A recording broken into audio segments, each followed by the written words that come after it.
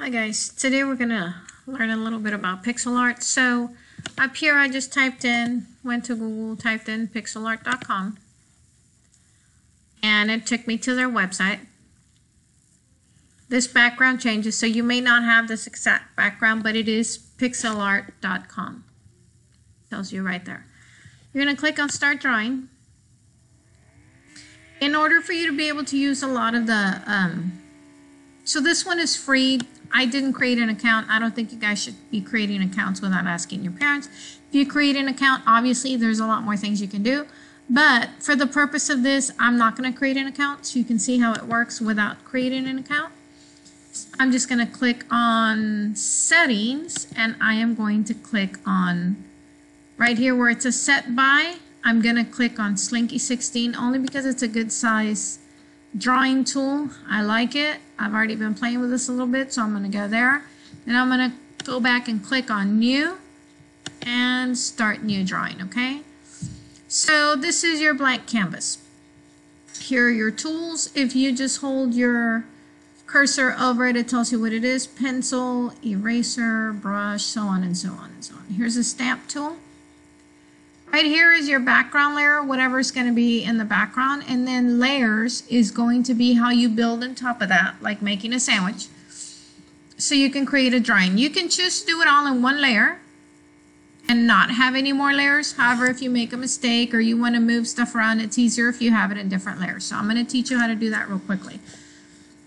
Um, options, you know, I really haven't really played with that, so I'm not even going to um, touch that. But layers, of course, is what I just said. And then tools. Your tools are uh, this one here, which Pixel Perfect Clean Strokes while freehand drawing. And then right here, and I choose that because it, it really does make a difference with your lines. So I'm going to click on that. Um, here are your colors. I'm not going to mess with that. And then I'm going to go back to layers because I always want to see what my layers are. So I'm going to start with a pencil I'm going to click here. The color that I'm choosing is black because I want to start with that drawing first. And the first thing I'm going to do is, this is Christmas themed, right? So I think I am going to make, I'm going to drop a sled right here. So working off my memory, see if I know what a sled looks like or if I remember what it looks like. Um, let me see if it works. Ooh, that looks like a chili pepper, but we'll make it work. Okay. Nope, don't like it. Gonna try again. And the good thing is you can undo. You see how I did it? So I'm gonna try again. Let me see if I can't just make it a little bigger. Go like this. Go like this. And right here.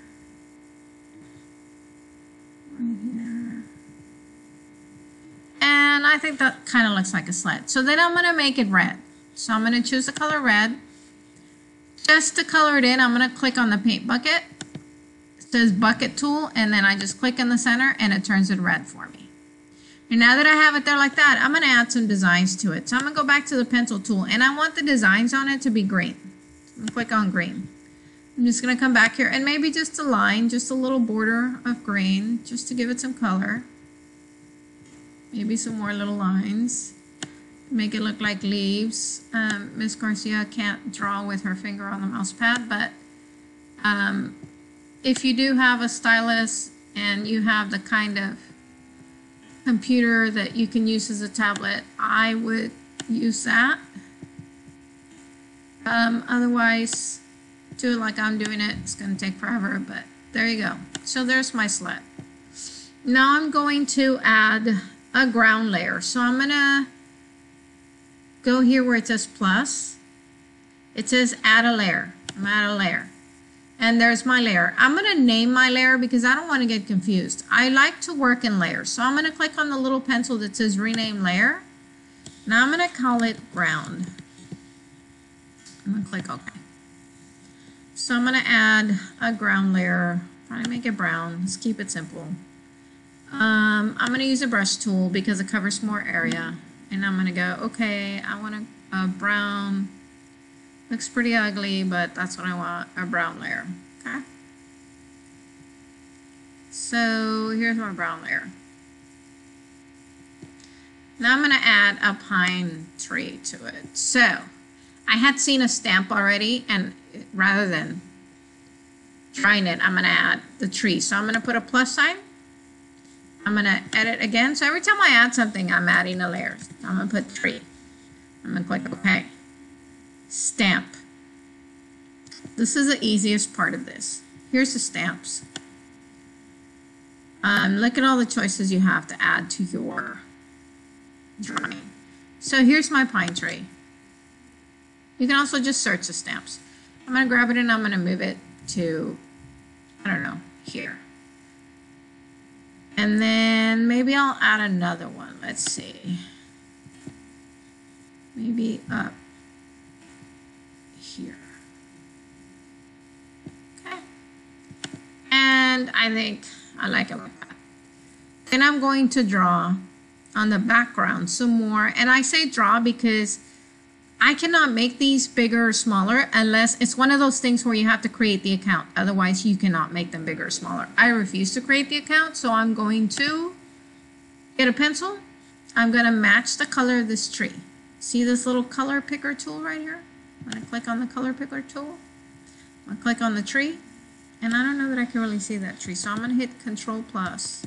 See if I can't make it bigger. I can't, but I click on the navigation zoom tool. Uh? Oh, nope. Doesn't let me do it. Okay, never mind. Okay, a little frustrating, but I can learn to live with it. Um, color picker tool, I'm going to pick the color. Uh, and this is the color that it is right here. So then I'm going to grab my pencil tool. I'm going to start drawing here. And I'm going to add my tree. And I'm going to make it nice and tall because I want it to be the tree in the forefront. And yeah, it just looks like a bunch of squiggles, right? That's okay because you're just going to keep adding to it. This is my base color. I figure I'm just going to go all the way down. It's going to frame my picture, right? This is my base color. Then I'm going to come in here and I'm going to go black and I'm going to go in the center a little darker. Because it's thicker in the middle, more branches, it's going to get darker in here in the middle. And then I might add a third color, something close to the color that I started with, but a little lighter. So I'm going to go back to the color that I started with, which is here and it's right here in this one. Then I'm going to click on it and maybe grab it and move it up. See how it's making it lighter? So I'm going to go, okay, I like that color. I'm going to select it and I'm going to add that color here to maybe the edges. Let's see. Sorry, it changed it. Okay, one more time. Move it up, select color, go to my pencil and add it here.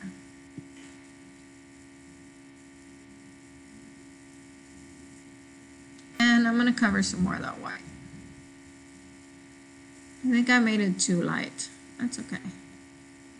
Come back and darken it if I need to, which I, it looks like I'm going to need to. So I'm going to darken it again.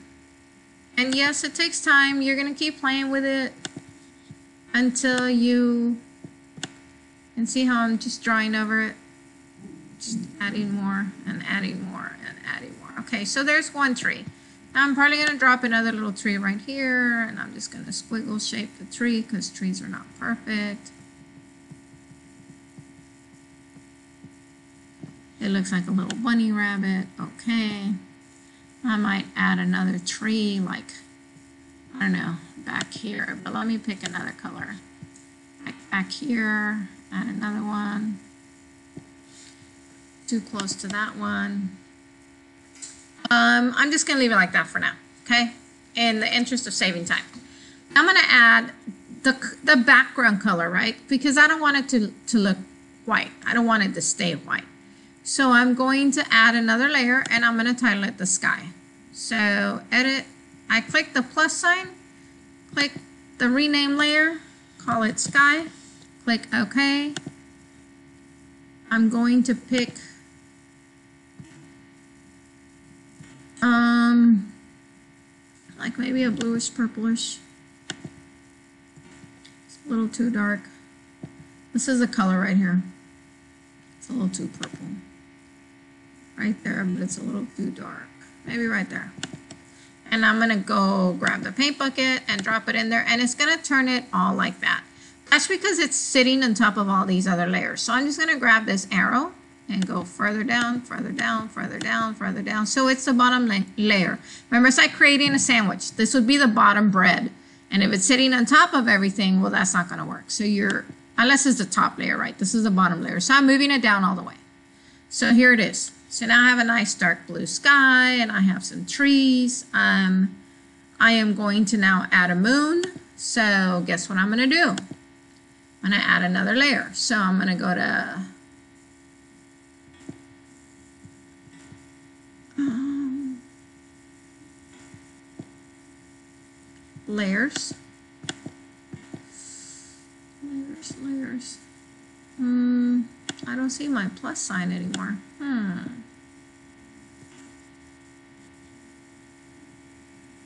Nope. Tools, options, layers. Okay. Add another layer. I'm going to title my layer Moon. Then you see the circle tool right here? I'm going to click on that, but I'm going to make this white because I want the moon to be white. I'm going to grab the paint bucket, drop it in there. And there's my moon. I'm going to drop Santa Claus in here. So I'm going to grab the stamp tool.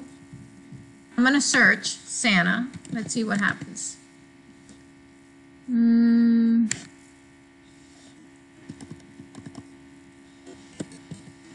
Santa Claus. Why was there an error fetching the stamps? I just had it earlier. Um, there is a Santa stamp, I know, because I just used it.